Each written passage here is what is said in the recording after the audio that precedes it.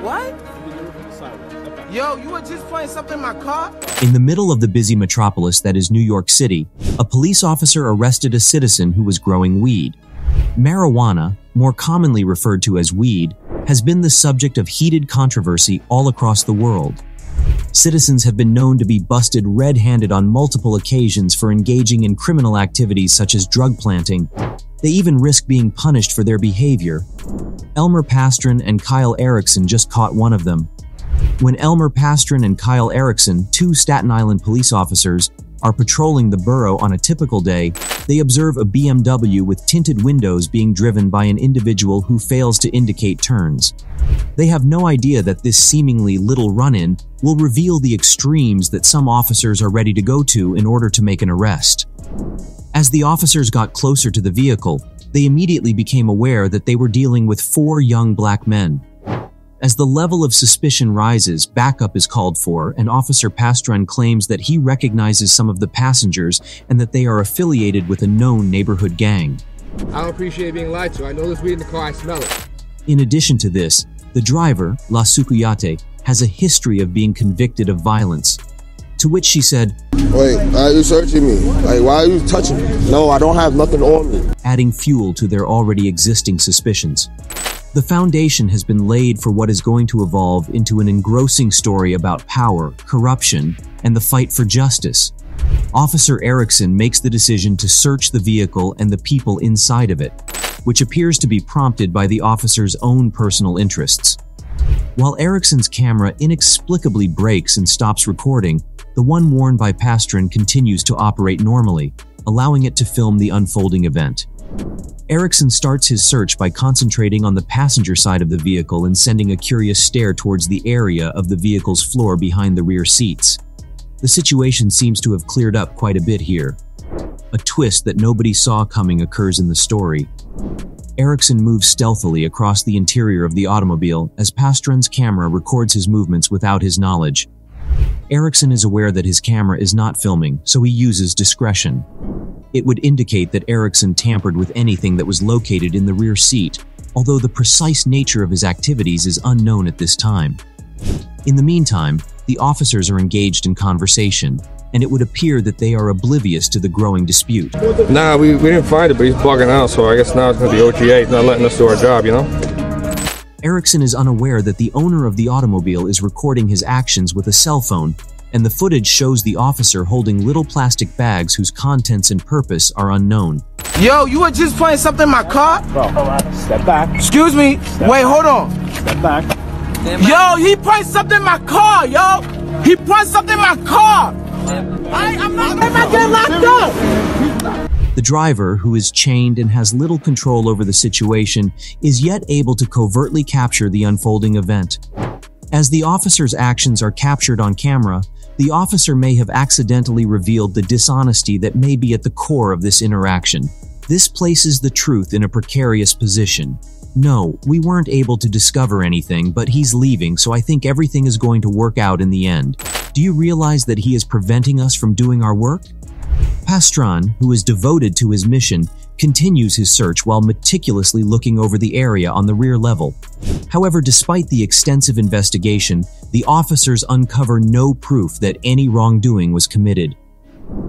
Erickson, in a fit of pique, climbs back into the trunk of the car, but he is oblivious to the fact that his camera has been reactivated. Foreign, who is unaware that his body camera is on, has watched an officer carefully put marijuana in the rear seat of a vehicle such that it appears to be legitimately there. Once again, his activities that he kept hidden from his partner have been captured, which casts additional doubt on the authenticity of the encounter. Alright, this was in the back seat on the floor. So marijuana cigarette, it's lit. Just had to put it out. Yo, I found a cigarette blunt, okay? It was lit when I found it on the floor. Yeah, that's why he's bugging out. Take them all? Huh? You wanna take them all? Well, we only have it on him. I double checked before. Yeah? Yeah. So he, he's on the. Yeah, but uh, anything, uh, narcotics in the car burning. All of them gone. No, not weed. Sure. Yeah. Alright, listen, we found it, okay? Okay. Good? Yeah. yeah. Okay.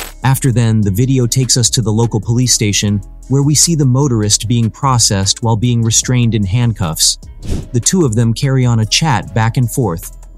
Yo, so y'all just put weed in my car, son. Bro, we did not do that. Why would we? Do, he has a camera. I have a in my camera. car. He has a camera. I have a camera.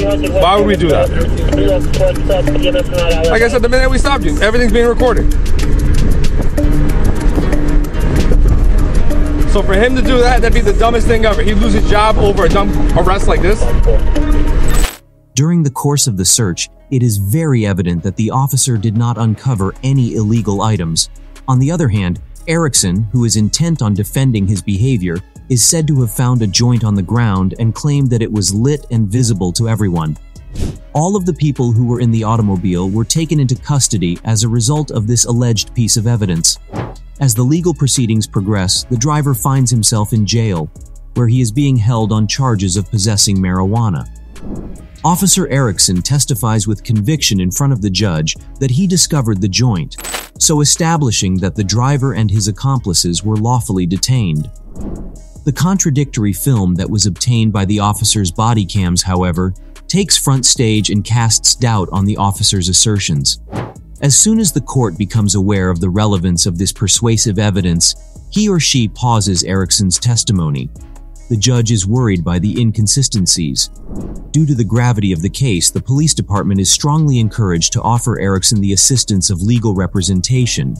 The evidence against the driver ultimately falls apart, and the charges of marijuana possession are dropped and the file is closed.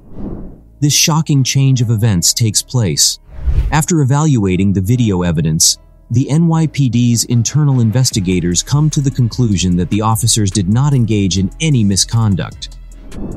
Officer Erickson chooses not to submit a statement, and Officer Pastran chooses to keep silent, both of which contribute to a sense of lingering doubt and unanswered issues regarding the actions of law enforcement officers. In the wake of this riveting narrative, the occurrence serves as a jarring reminder of the deeply ingrained problems that exist inside the system of criminal justice. While the discussion on whether or not marijuana should be legalized and the possible benefits of doing so continues, it is essential that society be aware of the negative effects that extensive weed plantation can have. When the cultivation of marijuana is prohibited in a region, the manufacturing and distribution of weed contribute to the development of a black market, which in turn encourages criminal activity.